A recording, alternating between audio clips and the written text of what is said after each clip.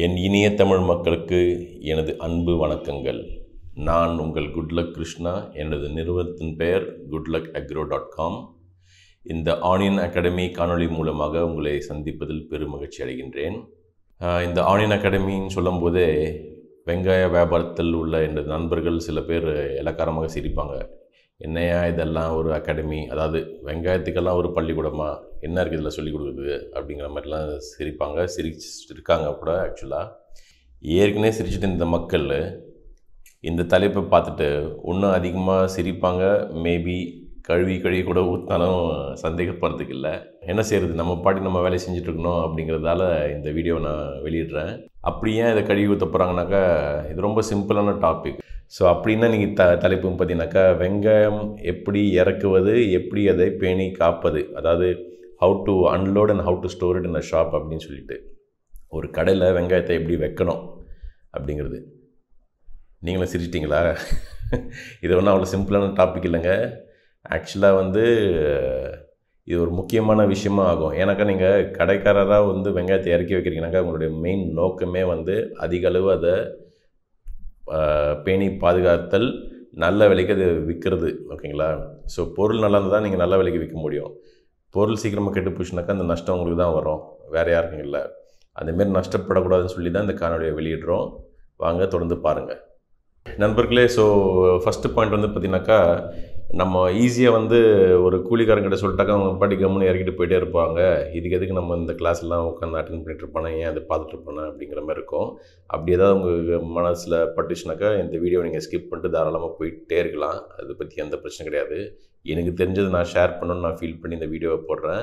உங்களுக்கு சப்போஸ் இது இன்ட்ரெஸ்டிங்காக இருந்தாக்கா பாருங்கள் சப்போஸ் இது வந்து அவசியம் இல்லை. இதெல்லாம் ரொம்ப சிம்பிளான விஷயம் தான் நான் பார்த்துக்கிறேன்னாக்கா அது உங்களுடைய போக்கில் நான் விட்டுறேன். பொதுவாக நான் சொல்கிறது உண்டு. ஏகப்பட்ட கருவிகள் உள்ள ஒரு விமானத்தில் அதை இயக்கும் ஒரு பைலட்டுக்கு இது ரொம்ப சுலபமாக இருக்கும். ஓகேங்களா? எல்லாம் தெரிஞ்சவனுக்கு எல்லாமே கொஞ்சம் ஈஸியாக தான் இருக்கும். ஆனால் ஒன்றுமே தெரியாதவனுக்கு ஒரு சைக்கிள் ஓட்டுறது கூட கொஞ்சம் கஷ்டமாக தான் இருக்கும். ஓகேங்களா? ஸோ அதுமாரி இப்போ நீங்கள் எந்த நிலைமையில் இருக்கீங்கன்னு நமக்கு தெரியாது. இந்த காணொலி நம்ம போடுறதுக்கு வந்து பேசிக்கலி பார்த்தீங்கன்னாக்கா புதுசாக வியாபாரத்துக்கு வரக்கூடிய மக்கள் பார்த்து தெரிஞ்சுக்கணுங்கிறதால தான் சில பேர் பல வருஷமாக வியாபாரம் பண்ணிருக்காங்க ஆனால் சில விஷயங்கள் வந்து தப்பு தப்பாக பண்ணிருக்காங்க அவங்க இதை பார்த்து தெரிஞ்சுக்கணுனாக்கா திருந்துக்கலாம் இல்லை நாங்கள் பண்ணுறது சரியாக இருக்குன்னு தோணுச்சுனாக்கா அவங்க படி அவங்க வழியில் கண்டினியூ பண்ணிட்டே இருக்கலாம். அதை பற்றி எந்த ஒரு பிரச்சனையும் எங்களுக்கு இல்லை. சொல்ல வேண்டிய வேலை எங்களுது. எடுத்துக்கிறது எடுக்காதது எல்லாம் உங்கள் இஷ்டம். ஸோ ஏற்கனவே சொன்ன மாதிரி நீங்கள் ஒரு வண்டி வந்திருக்கு. ஒரு லோடு வெங்காயம் வந்திருக்கு அப்படின்னு சொன்னாக்கா ஒரு அந்த கூலிக்காரங்க சொல்லுவாங்க இல்லையா இறக்குறவங்க அன்லோடிங் டீம் அவங்கள கூப்பிட்டு நீங்கள் சொன்னீங்கன்னாக்கா அவங்க படி தப்பு தப்பான இறக்கி போட்டு போயிட்டே இருப்பாங்க. அதில் என்ன பிரச்சனைனாக்கா வெங்காய மூட்டோடைய வே வேல்யூ சராசரியாக வந்து கிட்டத்தட்ட ஒரு ரெண்டாயிரம் ரூபாய் இருக்கும் ஒரு மூட்டோடைய விலை. ஓகேங்களா?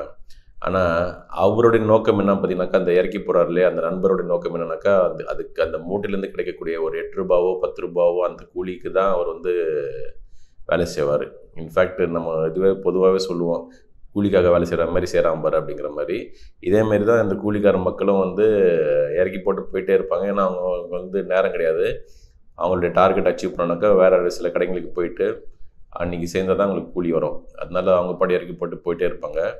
கடைக்கு சொந்தக்காரராக நீங்கள் பொருளுக்கு சொந்தக்காரர்கள் நீங்கள் தான் அக் மேற்கொண்டு அக்கறை எடுத்து அதை நல்லபடியே சொல்லணும் அவங்களுக்கு பேசிக்கலி ஓகே என்ன சொல்லணும்னாக்கா ஃபர்ஸ்ட் ஆஃப் ஆல் இது எப்படி அடுக்கணும்? எங்கே அடுக்கணும்? எப்படி இதை ரகம் பிரிக்கணும்? அப்படிங்கிறத நீங்கள் இறக்கிறதுக்கு முன்னாடியே தெளிவாக சொல்லணும். ஏன்னா இறக்க ஆரம்பிச்சிட்ட பிறகு அவங்க மிஷின் மாதிரி வேகமாக வேலை செய்வாங்க. அந்த நேரத்துக்கு வந்து நீங்கள் இந்த அது காட்டாற்று போல் அடிச்சுட்டு போயிட்டே இருக்கும். அது இடையில வந்து நீங்கள் வந்து டிஸ்டர்ப் பண்ணிங்கனாக்கா அவங்களுக்கு டென்ஷன் ஆகிடுவாங்க ஆக்சுவலாக அதனால வந்து லாரி வந்த உடனே அவங்க டீம் வந்த உடனே முதல்ல சொல்லணும் ஆக்சுவலாக எங்கே இறக்கணும்? எப்படி இறக்கணும்? எவ்வளோ மூட்டை அட்டிகள் போடணும்? அப்படிங்கிறத தெளிவாக சொல்லணும் நீங்கள் ஸோ பேசிக்கலி இப்போ எங்கள் நிறுவனத்தில் பொறுத்த வரைக்கும் நாங்கள் வந்து வெங்காயத்தை ஒரு மூணு வகையாக பிரித்து தான் அனுப்புவோம் நாசிக்லேருந்தே அதாவது பொடி வெங்காயம் மீடியம் அப்புறம் மண்டை அப்படிங்கிறத. ஸோ எல்லா மூட்டையும் எல்லா இடத்துலையும் இறக்கக்கூடாது. இறக்குனாக்கா அப்புறம் வந்து நீங்கள் விற்பனை செய்யும்போது உங்களுக்கு நிறைய கஷ்டங்கள் வரும். ஓகேங்களா ஸோ பேசிக்கலி அந்த நண்பர்கிட்ட நீங்கள் சொல்லிடணும். அந்த இறக்கி வேலை செய்கிறாங்க இல்லையா? அவங்கள்ட்ட சொல்லிடணும். இப்போ அது மாதிரி பொடியெல்லாம் இந்த ஓரமாக போடு. மீடியம் இங்கே வைங்க. அப்புறம் மண்டை வந்து அங்கே வைங்க. அப்படிங்கிற மாதிரி. அது மட்டும் இல்லாமல் வந்து சப்போஸ் நம்ம கடைக்கு முன்னாடியே வந்து கஸ்டமர் பார்வை தெரிகிற மாதிரி வந்து ஒரு அட்டி போடுங்க. அப்போ தான் அட்ராக்ஷன் இருக்கும். அதெல்லாம் நம்ம சொல்லணும் ஆக்சுவலாக ஓகேங்களா இதெல்லாம் வந்து சிம்பிள் இன்ஸ்ட்ரக்ஷன் தான். பட் இது வந்து நிறைய பேர் வந்து ஃபாலோ பண்ணுறதில்ல எங்கள் ஃப்ரான்ச்சைசி சிஸ்டமில் இருக்க மக்களே கூட சில பேர் வந்து பரவாயில்ல பார்த்துக்கலாம் இறக்கி போட்டோம் அதுக்கப்புறம் வந்து நம்ம பார்த்துக்கலாங்கிற மாதிரி இருப்பாங்க. அது தவறு. செய்கிற வேலையை முதல்லேருந்தே சரியாக செஞ்சுட்டாக்கா நமக்கு வந்து சிரமமும் இருக்காது செலவும் இருக்காது. ஓகேங்களா ஸோ அதனால் வந்து பேசிக்லி அவங்களுக்கு சொல்ல வேண்டிய இன்ஸ்ட்ரக்ஷனை முதல்ல கொடுத்துருங்க. அந்த இன்ஸ்ட்ரக்ஷன் முதல்ல உங்களுக்கு தெரிஞ்சதானே நீங்கள் அவங்களுக்கு சொல்ல முடியும். அதனால தான் நான் எனக்கு தெரிஞ்சதை நான் உங்களுக்கு சொல்கிறேன் ஓகேங்களா? சிம்பிள் ஸோ இது கேட்டு தெரிஞ்சுக்கோங்க.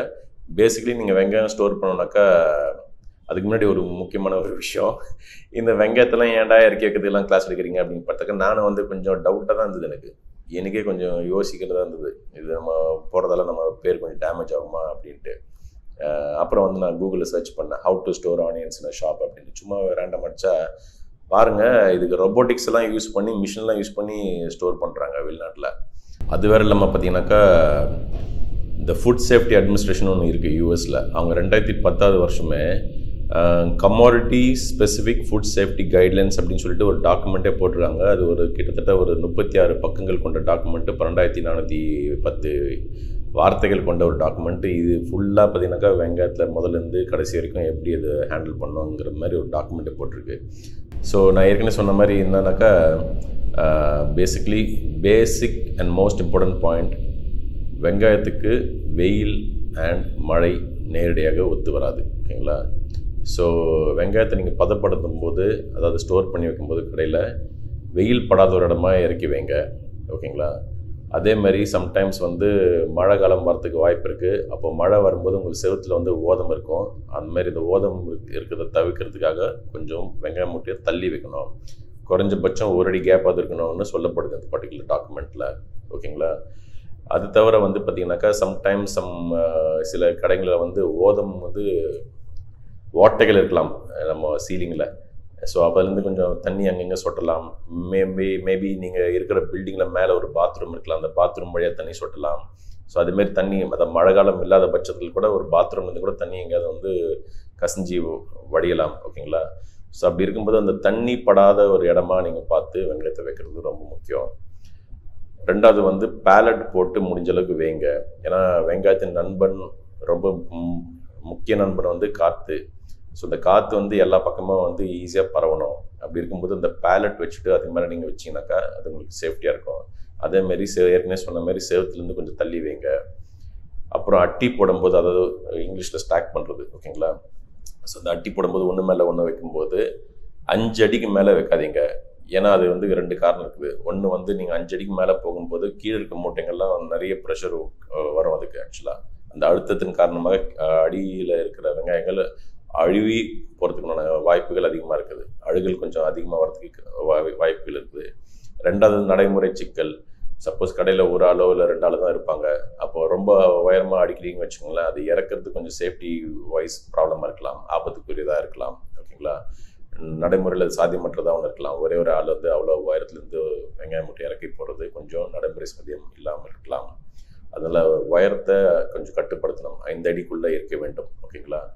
அதுக்கப்புறம் ஒரு அட்டிக்கும் மற்றொரு அட்டிக்கும் இடையில் போதுமான அளவு கொஞ்சம் இடைவெளி இருக்கணும். காத்தோட்டம் இருக்கிறதுக்காக ஓகேங்களா? காற்று ஃப்ரீயாக சுற்றுற மாதிரி இருக்கணும்.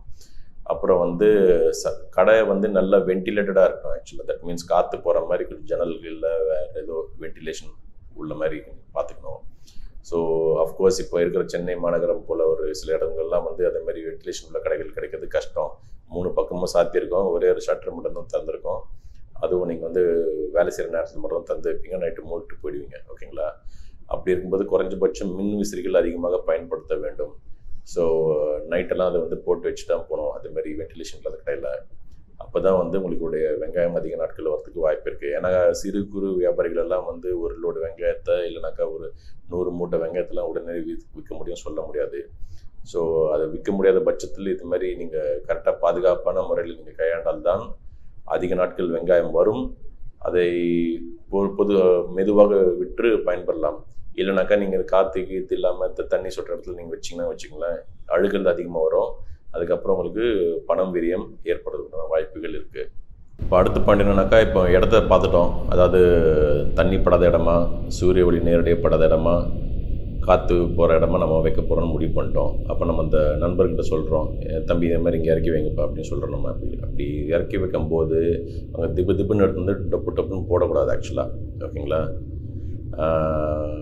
ஹேண்டில் பண்ணுறத கொஞ்சம் பொறுமையாக ஒரு ஆள் இறக்குற இடத்துல இன்னொரு ஆள் இருக்கணும். ஓகேங்களா? அப்படி பிடிச்சி இறக்கி வைக்கிற மாதிரி இருந்தாக்கா உங்களுக்கு அடிப்படாது ஆக்சுவலாக வெங்காயம் அடிப்பட்டுச்சுனாக்கா டேமேஜஸ்னால் அது கொஞ்சம் பிறந்துக்கும் பிறந்தாக்கா அதுலேருந்து ஜூஸ் வெளியே வரதுக்கு வாய்ப்பு இருக்குது அந்த ஈரப்பதம் வந்து மற்ற வெங்காயத்தை கெடுக்கிறதுக்கு உண்டான வாய்ப்புகள் இருக்குது ரெண்டாவது சில டைம் வரும்போதே வந்து வண்டியிலேருந்து வரும்போதே சில வெங்காயம் வந்து கீழே முளைச்சிருக்கிறதுக்கு உண்டான வாய்ப்பு இருக்குது ஓகேங்களா அப்படி மாதிரி ஏதாவது முளைச்சிருக்கு இல்லை கொஞ்சம் அழுகல் இருக்குனாக்கா அந்த வெங்காயத்தை கொஞ்சம் ஓரமாக அடிக்க வைக்கணும் தவிர எல்லா மூட்டோட சேர்த்து வைக்கக்கூடாது ஏன்னாக்கா ஒரு வெங்காயம் கெட்டு அது வந்து பத்து வெங்காயத்தை கெடுக்கிறதுனா சக்தி உண்டு உண்டு அதுக்கு ஆக்சுவலாக அந்த வாய்ப்பை நம்ம அமைக்கக்கூடாது. அதனால் வந்து அந்த கெட்டுப்போன வெங்காயத்தை கொஞ்சம் தனியாக எடுத்து வச்சிடணும். அதுக்கப்புறம் நல்ல வெங்காயத்தை மட்டும் தான் ஸ்டோர் பண்ணணும். சம்டைம்ஸ் ஸ்டோர் பண்ண பிறகு அதாவது அடுக்கி வச்ச பிறகு கூட ஒன்று ரெண்டு முளைக்கிறதுக்கு வாய்ப்பு இருக்குது அப்படி ஏதாவது முளைச்சிச்சுனாக்கா அதை நீங்கள் வந்து உங்கள் ஆளுங்களை வச்சு அப்பப்போ அதை ரிமூவ் பண்ணிடணும். ஏன்னா அதை அப்படியே வச்சுருந்தாக்கா அது மற்றவங்களுக்கு மற்ற வெங்காயத்தையும் பரவி கிடைக்கக்கூடாத வாய்ப்புகள் இருக்குது ஸோ அதையும் கொஞ்சம் நீங்கள் பார்த்துக்கோங்க ஸோ அடுத்த பாயிண்ட் வந்து பார்த்தீங்கன்னாக்கா எந்த டெம்பரேச்சரில் நம்ம வந்து வெங்காயத்தை ஸ்டோர் பண்ணலான்ட்டு ஜென்ரலாக வந்து ஏழு டிகிரி சென்டிகிரேட்லேருந்து இருபத்தி ரெண்டு டிகிரி சென்டிகிரேட் வரைக்கும் அது சேஃபாக இருக்கும் ஒன்றும் ப்ராப்ளம் இல்லை. அதுக்கு மேலே சப்போஸ் டெம்பரேச்சர் போயிடுச்சுனாக்கா அப்போது நீங்கள் அதிகமாக காத்தோட்டம் தேவையான சில உத்திகளை நீங்கள் கையாள வேண்டும். அஃப்கோர்ஸ் நான் சொன்ன மாதிரி வென்டிலேஷன் இஸ் வெரி இம்பார்ட்டண்ட் ஃபேனை நீங்கள் ஆன்லேயே வச்சுருக்கணும். மின்விசிறி எப்போவுமே ஓடுற மாதிரி கொஞ்சம் பார்த்துக்கோங்க. அதுக்கப்புறம் வந்து பேசிக் இன்னொரு பாயிண்ட் வந்து பார்த்திங்கனாக்கா வெங்காயத்தை அடுக்கின பிறகு மற்ற சில வேலைகள் செய்கிறதுக்குண்டான வழி தடம் அங்கே இருக்கணும் ஆக்சுவலாக எல்லாத்தையும் நீங்கள் ஜாம் பேக்டாக நீங்கள் வச்சிட்டீங்கன்னாக்கா அதுக்கப்புறம் வந்து உங்களுக்கு நான் சொல்லியிருந்தேன் நான் அஞ்சு அடிக்கு மேலே ஸ்டோர் பண்ணாதீங்கன்ட்டு. அது அஞ்சு அடிக்கு மேலே ஸ்டோர் பண்ணாக்கா ப்ராப்ளம் வரும்னு சொல்லிட்டு நீங்கள் எல்லாத்தையும் பரப்பி வச்சுருந்தீங்க உங்கள் கடையில் நடக்கிறதுக்கு கூட இடம் இருக்காது. அப்புறம் வேறு சில பொருட்கள் எடு எடுக்கிறதுக்கும் இடம் இருக்காது. அதேமாரி வெங்காயம் வந்து வைக்கிற இடத்துல பக்கத்தில் வந்து இந்த மாய்ஸ்சர் எமிட்டிங் ப்ராடக்ட்ஸோட நீங்கள் பக்கத்தில் இருக்கக்கூடாது அதாவது அந்த ஈரப்பதம் தன்மையை ரிலீஸ் பண்ணக்கூடிய பொருட்கள் ஃபார் எக்ஸாம்பிள் உருளைக்கிழங்கு ஓகேங்களா அது பக்கத்தில் நெருக்கமாக வைக்கக்கூடாது வெங்காயத்தை. இது கொஞ்சம் தள்ளி வைக்கணும். அது மாதிரி சில விஷயங்களை நீங்கள் மேற்கொண்டு கவனமாக செலுத்தினீங்கனாக்கா உங்களுடைய வெங்காயம் அதிக நாட்கள் வரதுக்குண்டான வாய்ப்பு இருக்குது அதை வச்சு நீங்கள் லாபம் அடைகிறதுக்குண்டான வாய்ப்பு இருக்குது ஸோ இந்த காணொலியை கடைசி வரைக்கும் பார்த்ததுக்கு ரொம்ப நன்றி. ஸோ மீண்டும் அடுத்த ஒரு ஆன்லைன் அகாடமி கிளாஸில் உங்களை சந்திப்பதில் அவருடன் காத்திருக்கின்றேன். நன்றி வணக்கம்.